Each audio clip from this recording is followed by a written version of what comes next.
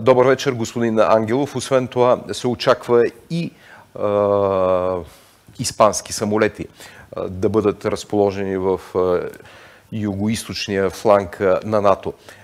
Много е интересно. Вие не знам дали сте имал възможност днес да следите дебата в българския парламент. Прокремълската партия Възраждане, тя си повтаря едно към едно това, което чува от Лавров и от Путин, но социалистите по никакъв начин не искат да има каквото и да е било българско участие в един общ контингент за защита на териториалната цялост и суверенитета на Украина. Обаче, българските социалисти, които искат да бъдат едва ли не като европейските си така, братовчеди социалистите, сякаш не виждат какво прави Педро Санчес. Какво прави Педро Санчес в тази ситуация? Българските социалисти би било добре да обърнат поглед назад, да се върнат, например, към тяхното управление през 2005 и 2009 година и тогава да, се, да, да обърнат поглед назад, да си пропомнят в какви международни операции на НАТО са участвали тогава с българската армия. Иначе правилно казахте в началото а, интересът на Испания в цялата тази ситуация.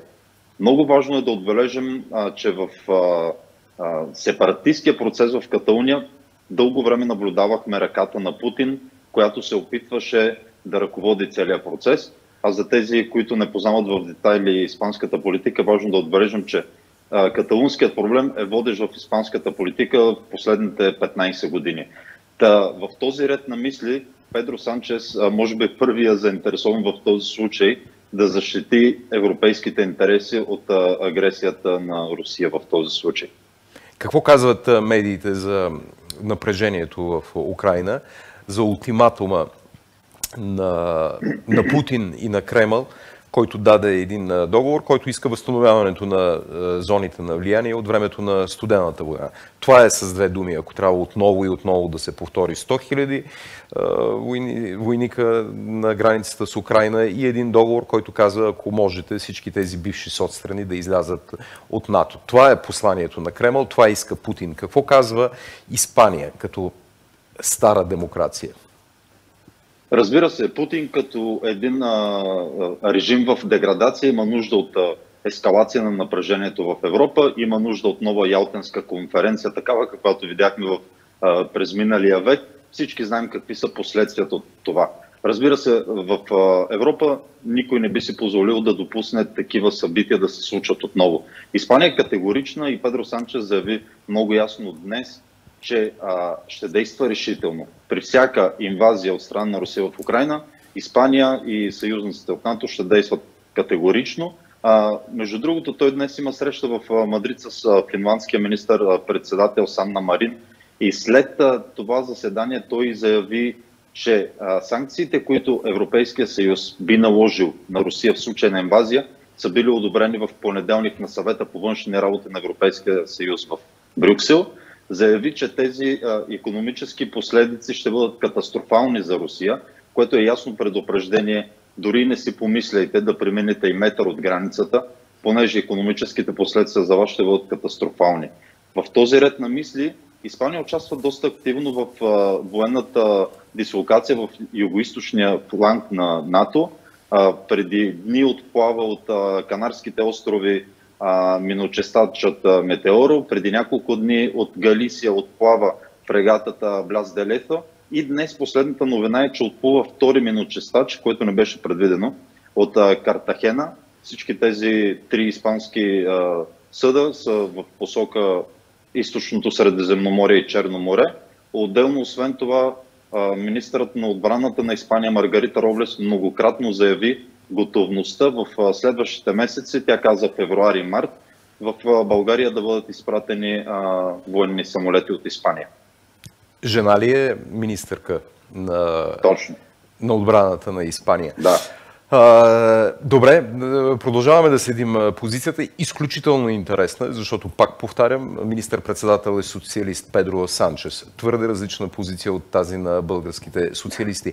Впрочем, другата голяма новина от Испания е, че министър-председателя Педро Санчев каза, че Педро Санчес каза, че вече в Испания на Омикрон, на Делта, изобщо на COVID-19 ще бъде гледано не като на пандемия, а като на ендемия. Обяснете. Тоест като на обикновен грип. Защо и какво означава това? И така да завършим.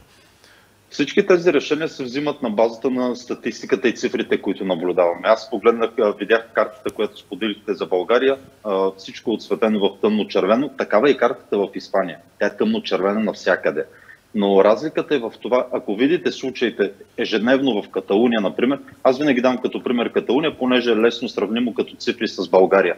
А, дневно се регистрират около 35 000 нови случая. Това са огромни, огромни цифри. Но смъртността е 0,1%. В сравнение с а, лятото, когато смъртността беше около 2-3%, виждаме драстичен спад. Този драстичен спад вероятно се дължи на комбинация от различни фактори. Мутациите, които се наблюдават при Омикрон, високата вакцинация в Испания, нека не забравяме, че тя е около 90% от населението. Именно на базата на тези а, цифри, на базата на това, че а, в момента в Каталуния в интензивните отделения са хоспитализирани 495 човека. Това е много под максимумът от предишните вълни. Какво се предвижда? А, премахване на зеления сертификат в края на януари. Това беше ясно заявено от каталунското правителство, понеже решенията за сертификатите се взимат на ниво автономни области. Та в Каталуния в края на януари той ще бъде премахнат. Плановете са март-април да бъдат следено ежедневно случаите на COVID, да бъде спряно налагането на карантина, т.е. тотално връщане към онзи живот, който всички ние помним. Това ще бъде в края на февруари ли казахте? Дайте отново тайна. Планирано е, планирано е за март-април. Няма mm-hmm. конкретна дата, понеже искат да изчакат еволюцията на, на, на тази вълна как ще продължи, понеже Испания е в растеж на случаите от началото на декември. Тоест месец и половина-два, ние в момента сме в пика на, на нови случаи и се очаква, че в следващите дни и седмици ще започне бързо спадане. И спасението е от високият, колко казахте, 90% иммунизация? Спор няма, понеже а, в Каталуния среднодневно се регистрират 35 смъртни случая. Една огромна част от тях са невакцинирани.